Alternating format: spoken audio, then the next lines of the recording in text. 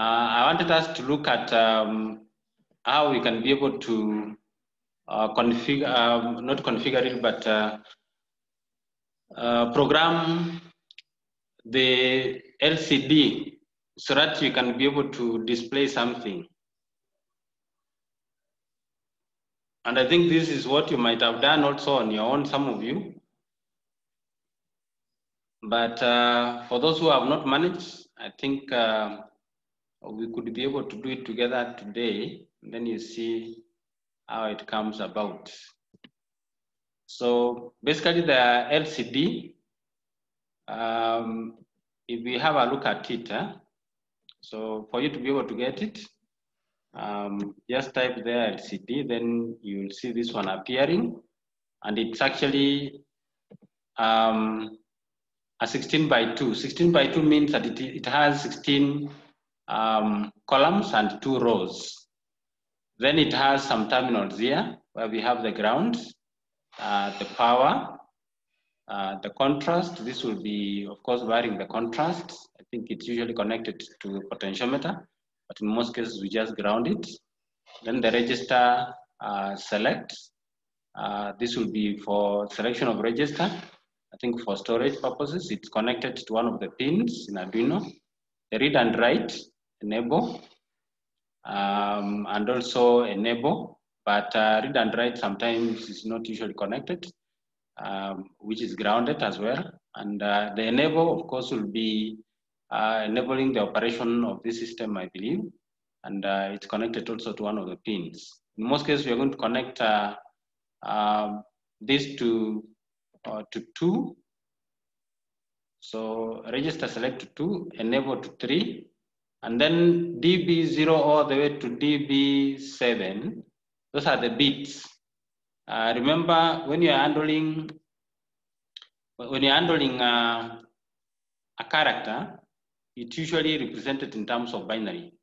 So whichever character that you have, which you're going to display on the keyboard, uh, it comes with the ASCII representation. And the ASCII in this case now is eight bits. Um, uh, please note that, uh, of course, the one which is very common is the 7-bit, uh, the 7-bit uh, ASCII, but 8-bit is also used now. And uh, in most cases, you can also be able to send this twice. Uh, you divide this into two, because they're 8 bits, then you are going to send 4 bits at a time. That makes it a bit slow, but it saves on the connections and the wirings. So we're going to do the 4 ones, and we do DB4 all the way to DB7. Um, then we connect that to four and seven on the Arduino board. I think I need to also put it there.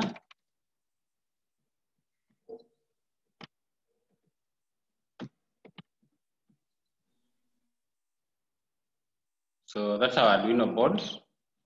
Uh, but you also need to work with a breadboard uh, because the actual one, in most cases, you require a breadboard to work with it.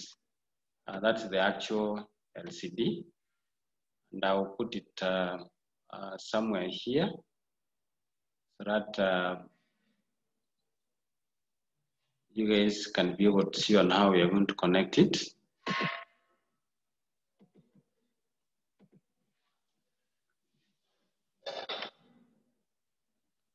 So uh, then this is the LED terminals. Uh, remember the LCD itself is a liquid crystal. Uh, the liquid is, um, of course, on one uh, inside this system, and then uh, there's a backlight, a backlight which will enable you to see what it is displaying. That's how I think it's usually designed, so that you can be able to see something. And uh, that LED, which you call the backlight, is got a cathode and an anode of which you also need to connect the cathode to ground, the anode to 5 volts, but you need to connect them to uh, through a resistor uh, so that it does not burn or uh, does not get damaged.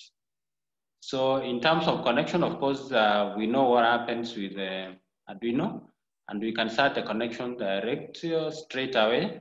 And I hope all of you, please, you are there with your Tinkercad also in your laptops so that we connect it together and we program it. In programming, it's usually very easy for it. So I would request that uh, you should be ready with your laptops also as we do this. And uh, just know that we are going to connect this to ground. And we change our color to black. And then I'll connect this to 5 volts, uh, which is red. Of course, when you see this is positive, this is negative, for the breadboard, you know what it stands for and how you're supposed to be handling that. Eh?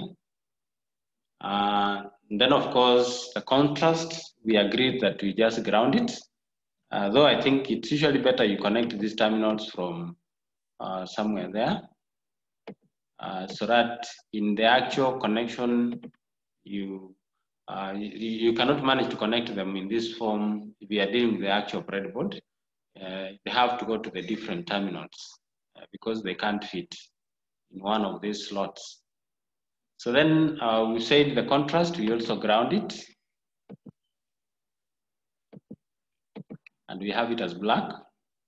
And then the register, we have agreed we connect it to pin two of the Arduino board.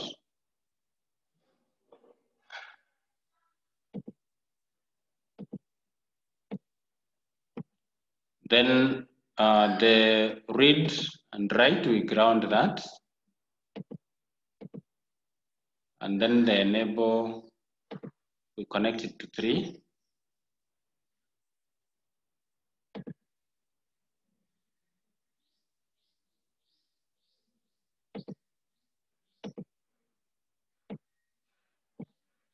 And then, of course, we have the DB4 all the way to DB7, which will be connected to 4 uh, and uh, up to 7.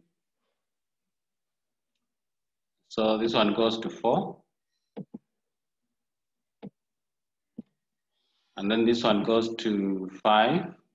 Uh, that's DB5.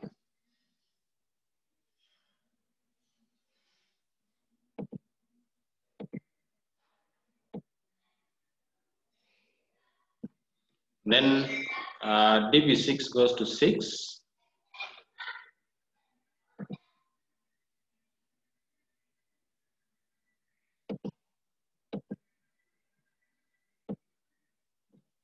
Uh, DB7 goes to 7.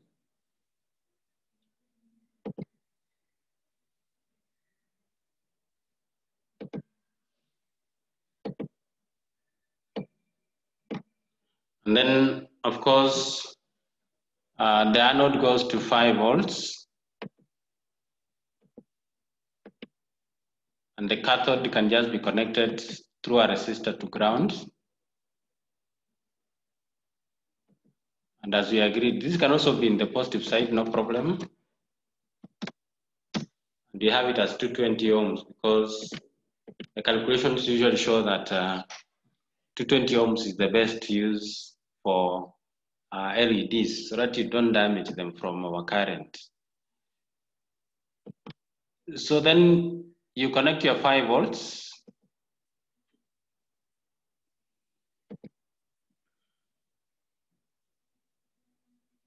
and it goes to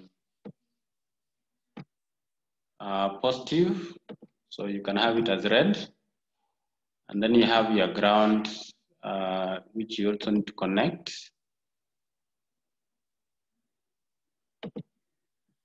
Uh, it goes to ground in that form. You can change your color. And I think our connection is done. So the next thing to do is to program the device now uh, so that it can be able to operate.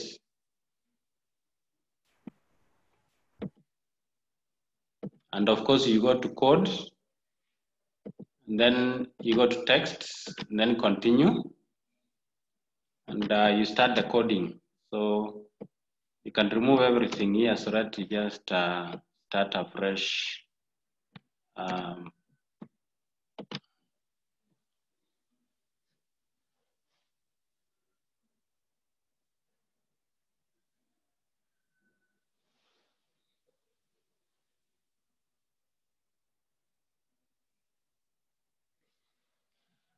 So usually, uh, you need to get the library. It's usually included.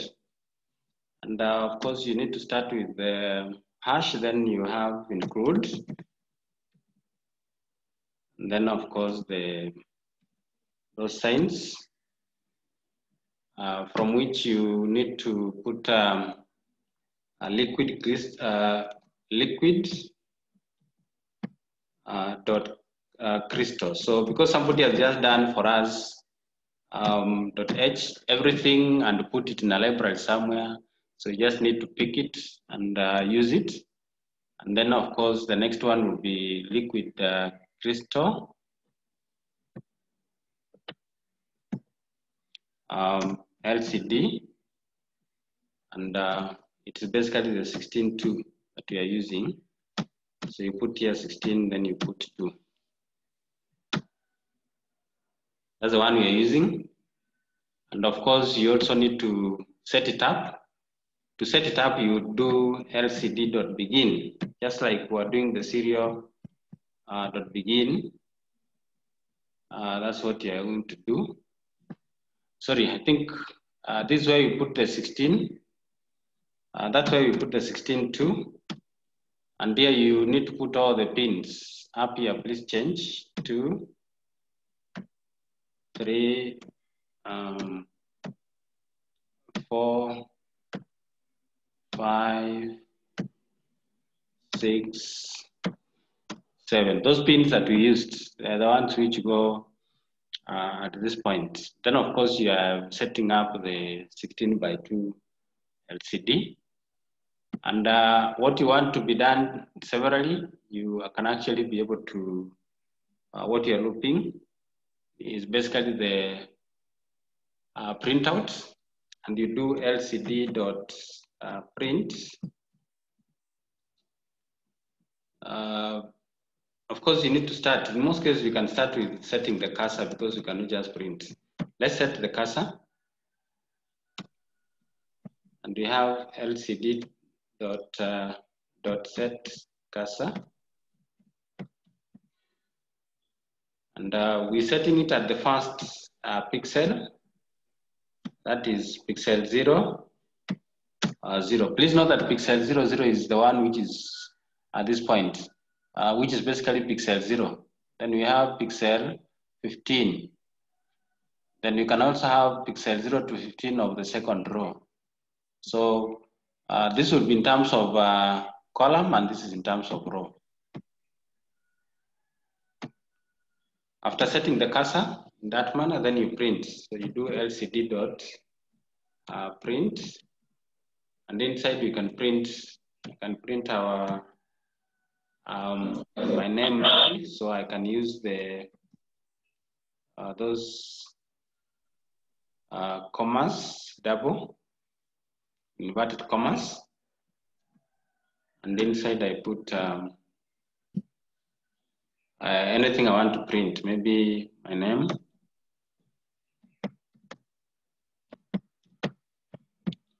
Like that.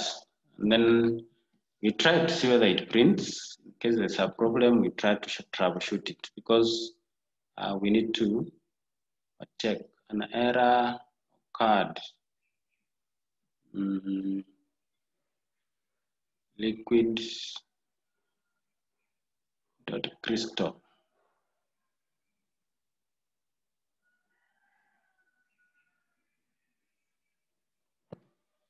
So we check what is the problem there. And for those of you who have done this before, could also indicate what you are seeing there.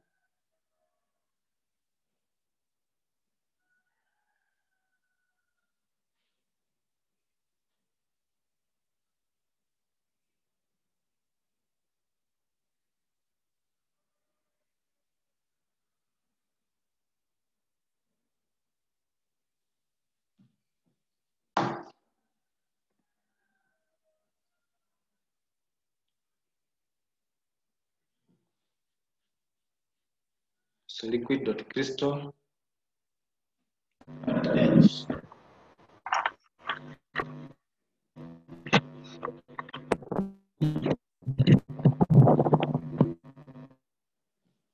Yeah, so supposed to be one word combined.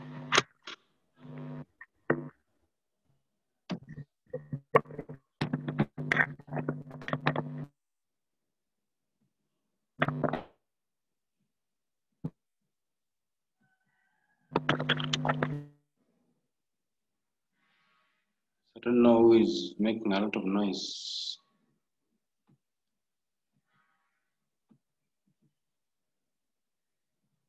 Can you put off your microphones?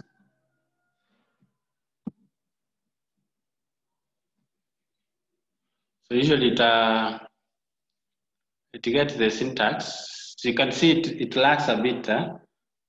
So we are not supposed to have put the dot there. That's what it recognizes in the library. Course, depending on your library, you could change some of these things. So, and I think you can see it uh, displaying the name.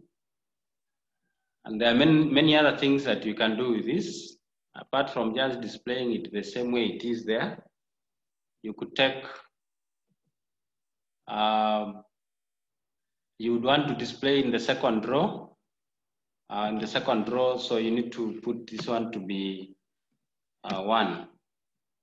That's the only time it can uh, print in the second uh, row. You can see that. And you want it to print uh, one step. So you stop, then you can change this to one, in which case you realize that uh, it shifts one position to the right. And you are seeing that. And then the other thing maybe you might want to do is uh,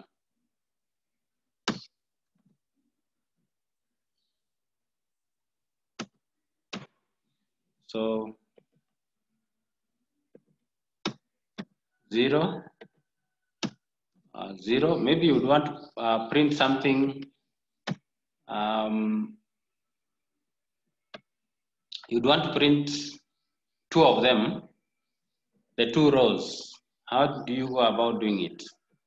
I can take this copy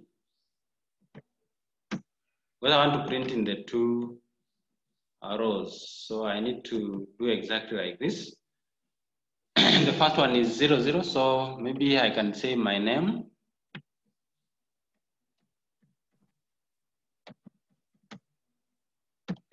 And please know that when you are printing these characters, make sure that they don't go beyond uh, 16.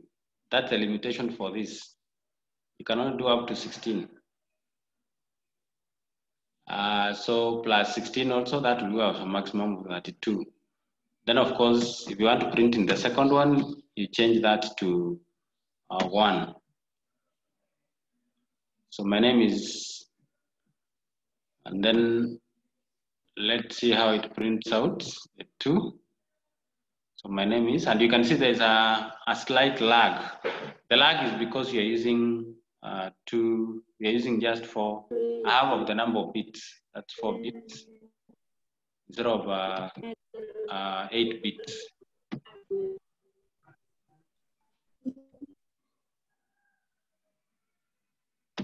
And you can see we have done that. So if you would want to scroll, uh, maybe someone would want to scroll this. Um, this is what you'll do. You want to scroll. Uh, maybe we make it easier. Uh, just deal with one. Um, let's deal with just one. One um, row so that you can be able to see what's happening.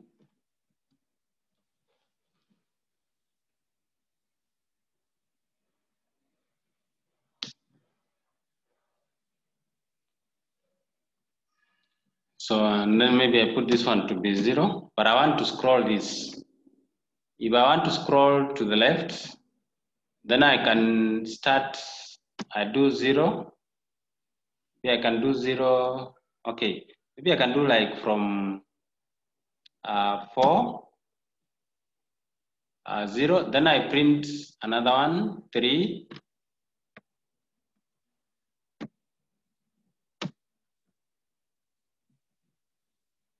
So I do another one, three. But in most cases, before you print the next one, uh, you're going to do a delay. So like here, I can do a delay.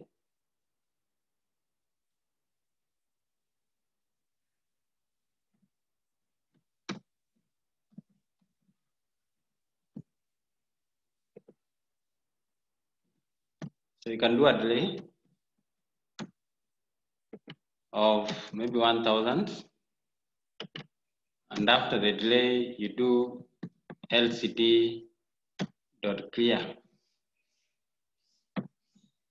So you clear your LCD. And uh, you do the same to the other one. So you can copy the whole of that and place it here. You are to uh, run it, we'll be able to see uh, something happening. So you can see it actually scrolls. And I think if you had scroll it uh, further than that, uh, maybe copy everything here. And uh, this one you put it to be two. And then this one you put it to be one. Then you can see what happens.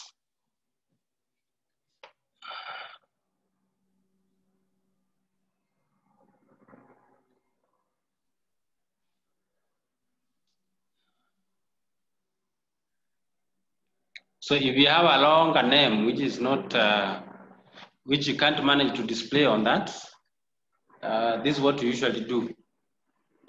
You actually scroll whatever you want to print on that screen.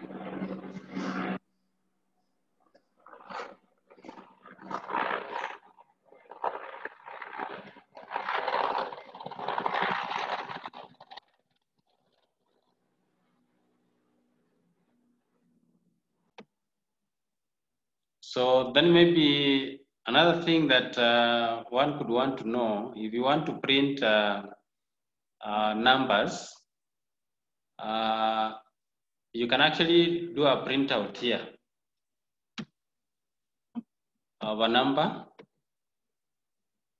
Like now you can take uh, number. Sometimes you could read a number from uh, some input, most probably um,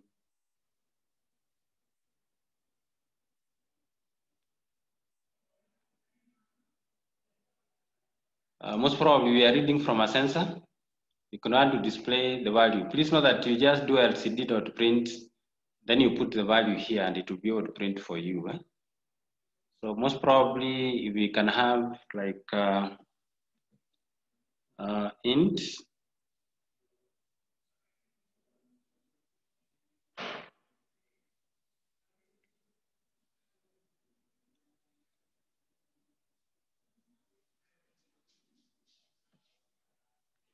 mm, int just uh, I'm just putting it. So int uh, a is equals to maybe like uh, three just a value. So I can do lcd dot print also. Uh, that value lcd uh, dot print brackets just put a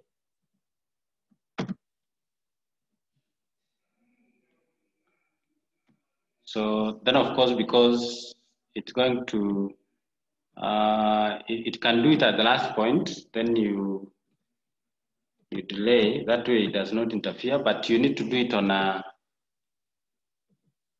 on a particular point. So which means you require to also take the cursor uh, set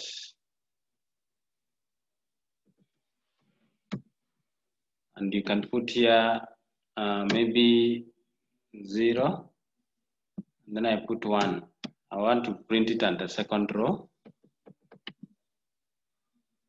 Uh, then you clear screen. So let's see what it brings out.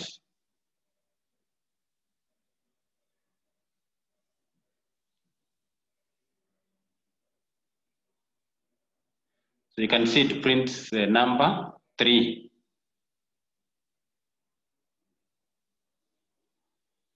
In fact, if you want to do like a, a loop, you can also be able to loop. Like you do a loop uh, of from four to three or four to one. And uh, as it does that, you actually loop. It will be printing here three, okay, four, three, two, uh, one. You can actually be able to do that. Eh? So that's about the LCD itself. And there are many, many operations that you can do with it, but as much I think uh, we might require, this is what is very important uh, with it. Eh?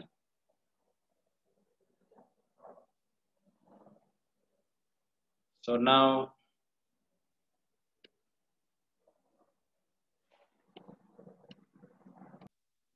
uh, an exercise, you take temperature sensor, connect it here on the breadboard. Then I would want it to display the temperature here on the screen. Uh, apart from that, I would want to display um, something else like um, if the temperature is uh, beyond a given level, then uh, it displays danger. If the temperature is within a set range, which is okay, uh, it will be able to uh, print uh, things are not working well, but it's fine. And of course, the other one is when the temperature is just normal, maybe room temperature. Let's take room temperature and we take other uh, levels, three levels, and I see the displays accordingly from that. So it's an exercise I'm giving you uh, so that you can actually be able to do it. Uh, one of the temperature is too high, maybe from around uh, 60 onwards. Uh, it displays the temperature is too high. Maybe put off your phone. In fact, like now, a phone will display something like that. Yeah. Let me try to see whether I have something here which we can be able to use. Eh? Mm, as a message.